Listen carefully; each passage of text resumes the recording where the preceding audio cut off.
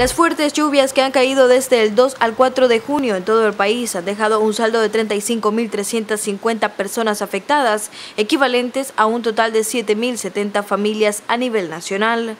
De acuerdo a un informe presentado por el gobierno este domingo, las precipitaciones han dejado igualmente un total de 6 fallecidos, 129 familias en albergues y 7.041 viviendas con afectaciones.